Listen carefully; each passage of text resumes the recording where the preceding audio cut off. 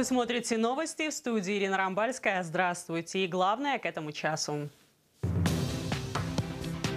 Решение социальных вопросов требует президент от руководителей районов. Глава государства согласовал ряд назначений в местной вертикали власти.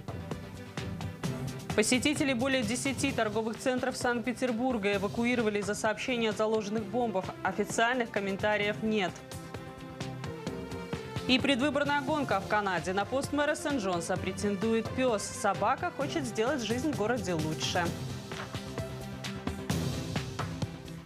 Оснований для роста цен в Беларуси нет. Об этом президент Александр Лукашенко заявил сегодня, согласовывая назначение новых руководителей местной вертикали власти. Президент подчеркнул, что у глав райсполкомов становится больше полномочий. Пример тому уборочная компания, но и спрос особый. Новым руководителем Александр Лукашенко еще раз обозначил круг социальных вопросов, которые предстоит решать на местах. Это контроль ситуации в ценообразовании и создание новых рабочих мест. Особое внимание выполнению задачи по увеличению средней заработной платы до 1 тысячи рублей. Главная задача у нас сегодня социальная. Занятость населения, борьба с безработицей. Пусть у нас там она мизерная, но каждый человек должен иметь возможность работать и зарабатывать. Занятость – вопрос очень важный, людям надо предлагать работу, надо создавать новые рабочие места. Но, естественно, в связи с этим и заработная плата. И третье направление – ценообразование. Контролируйте, никого не боясь, вы должны видеть, пускай это э, люди вам будут вас информировать, э, контролеры ваши и так далее. Подключите к этому профсоюзы, они очень эффективно это делают. Они вам подскажут. Вы предупредите всех, кто у вас занимается этими э, продажами и так далее. А потом получил информацию, проверьте и снимите кому-то голову, если он необоснованно задирает цены. Подойдите аккуратно к этому вопросу.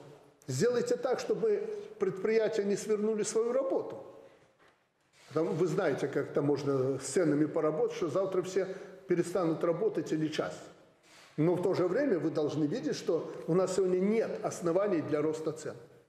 Наоборот, они должны, инфляция у нас сокращается, но хотя бы застолбиться на этом уровне, который мы э, имеем.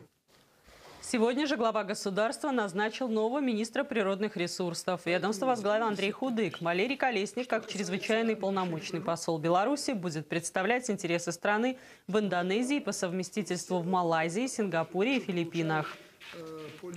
Пункт управления региональной группировки войск перед стартом учения «Запад-2017» проверил связь между полигонами и совместным командованием Беларуси и России. С 9 утра подразделения начали выполнять учебно-боевые задачи, цель которых – предотвратить деятельность диверсантов и разведчиков условного противника. Пункты управления развернуты, система управления создана и функционирует в полном объеме.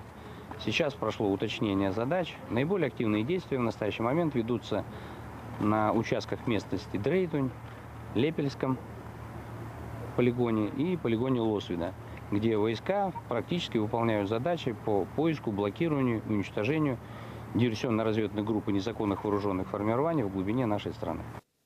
Отмечу, что сценарий учения рассчитан на два этапа. Следующая активная фаза начнется 17 сентября и закончится 20. Беларусь нацелена на более активное сотрудничество с Европейским банком реконструкции и развития. Об этом сегодня шла речь на встрече Александра Лукашенко с главой этой финансовой структуры Сумой Чакрабарти. Президент отметил, что Беларусь и ЕБРР следуют общей цели и пытаются найти наиболее эффективный механизм использования госсобственности. Но есть и другие точки соприкосновения. Наша страна сейчас активно развивает средний и малый бизнес и надеется на поддержку банка в реализации таких проектов. ЕБРР инвестирует в развитие инфраструктуры. Один из возможных проектов – возведение магистрали на юге Беларуси, которая стала бы полноценным транспортным коридором для товаров и грузов из Европы и Азии. Одна из просьб, которую я хочу адресовать вам, она как раз в тренде Европейского банка реконструкции и развития. Это э, поддержка малого и среднего бизнеса. Имея в стране определенную стабильность и безопасность, управляемость, мы хотели бы предоставить инициативным людям больше свободы э, в самореализации, скажем так. Прежде всего э, в производственной сфере, сфере услуг и так далее. И мы очень бы рассчитывали на вашу поддержку здесь. И более глобальная проблема. Э, проблема инвестиций э, в инфраструктуру. И инфраструктуру, которая обслуживает не только Беларусь, и даже не столько Беларусь, сколько Европу и Азию весь евроазиатский континент. И, конечно же, несмотря на то, что у нас неплохая инфраструктура, и она пока справляется с этими потоками, нам надо думать о том, чтобы эта инфраструктура была на самом высочайшем европейском уровне. Э, мы вам благодарны, что вы инвестируете в развитие дорожной сети и так далее, но этого недостаточно. Примером тому является наши, являются наши переговоры по прокладки более широкой магистрали по югу Беларуси, чтобы Южный поток э, Китая, Центральной Азии, России перехватить и направить через юг, через Гомель на Брест в Европу в двух направлениях. Предоставляя нам определенную поддержку, вы, конечно, делаете благо для нас, но это двусторонний процесс. И это полезно и для Европы в том числе. Конечно, в центре внимания банковская сфера. В этом направлении тоже ведутся активные переговоры. Глава банка высоко оценил усилия Беларуси в развитии зеленой энергетики, а в целом он назвал сотрудничество Беларуси и ЕБРР стратегическим. По итогам переговоров стороны договорились составить дорожную карту, где будут прописаны конкретные проекты со сроками исполнения. Поскольку в настоящее время сотрудничество между Беларусью и банком расширяется, мы будем вести речь об инвестициях банка в Беларусь до 200 миллионов евро. Мы активно участвуем в различных сферах, в частности в транспортной. Сегодня обсуждали вопросы модернизации трассы М10, но речь будет идти и о других вопросах в транспорте.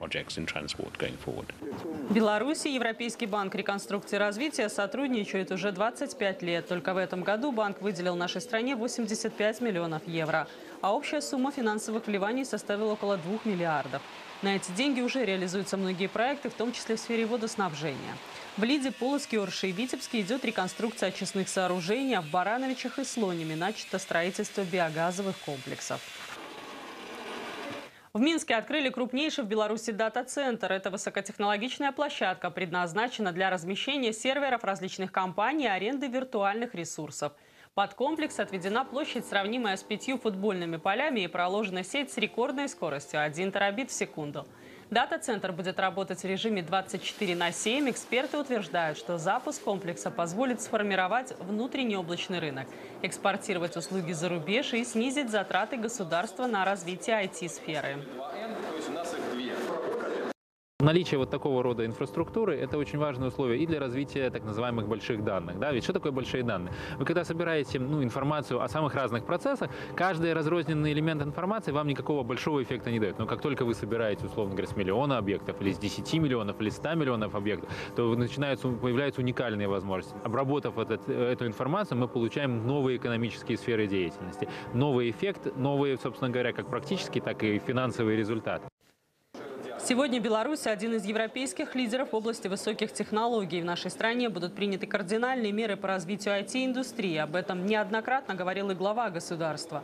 Во время ежегодного послания народу и парламенту президент фактически обозначил курс на создание IT-страны. Открытие нового дата-центра – часть этой глобальной стратегии. В Беларуси это второй подобный объект. Планируется, что комплекс уже в первые годы работы принесет минимум 2 миллиона долларов прибыли. Посетители более 10 торговых центров Санкт-Петербурга эвакуировали из-за сообщения о заложенных бомбах. Рабочие места пришлось покинуть и сотрудникам администрации Центрального района города. По всем вызовам проводятся проверки. Официальных комментариев пока нет – Однако из различных источников поступают сведения, что звонки с угрозами о минировании инициировали люди, связанные с группировкой «Исламское государство». Подозреваемых намерены объявить в международный розыск. Напомню, волна анонимных сообщений о заложенных взрывных устройствах по всей России продолжается пятый день, пока ни в одном из случаев угроза не подтвердилась. Три подрыва устроили боевики на юге Таиланда. В одном из случаев на воздух взлетел автомобиль с саперами, которые направлялись к месту первого взрыва. Между террористами и полицией завязалась перестрелка, несколько специалистов получили серьезные ранения. Позже один из них скончался в больнице. Последнее взрывное устройство активировали, когда стражи порядка проводили осмотр в пострадавшем районе. В итоге различные травмы получили не менее 17 человек, в том числе гражданские. Контракты, подписанные в ходе визита белорусской делегации в Индии, могут увеличить товарооборот между странами до миллиарда долларов. Сегодня итоги достигнутых договоренностей подвел председатель Белорусской торгово-промышленной палаты. Несколько соглашений заключили наши машиностроители, причем работать стороны намерены в том числе на рынках третьих стран. Например, БелАЗ договорился о совместных поставках 50 большегрузов в Мозамбик. Кроме того, продолжается обсуждение создания на территории Индии наших сборочных производств. Присматриваются партнеры и к белорусским электробусам. Белзарубежстрой, наша компания, которая работает на рынках самых дальних стран, подписали соглашение с Национальной строительной корпорацией, э, долгосрочное о сотрудничестве, участие белорусских специалистов в проектировании и в реализации, строительстве объектов. Наш концерн Белнефтехим имел опыт. В штате Осаша они реализовали проект по увеличению нефтеотдачи месторождения э, подписан новое соглашение, и наши специалисты пойдут на новый объект. Еще одна белорусская компания, которая занимается струнным транспортом, намерена реализовать совместный проект в одном из портов Индийского побережья. По предварительным оценкам, достигнутые договоренности уже в следующем году позволит увеличить объем торговли в 2-3 раза. Пока он составляет порядка 400-450 миллионов. И последние необычные подробности всплыли в ходе предвыборной гонки в канадском городе Сент-Джонс. Там на пост мэра претендует собака. Хозяин пса утверждает, что Финн, так зовут питомца, неутомимый труженик и планирует помогать малому бизнесу и в целом работать дни напролет, чтобы сделать жизнь в городе лучше. Каким образом собака намерена воплощать планы, неизвестно. Предвыборной программы Фина пока нет в документе. Она известна только со слов его хозяина. Такова информация на этот час. Следующий выпуск в 19.30 проведет мой коллега Сергей Прохоров. Всего доброго.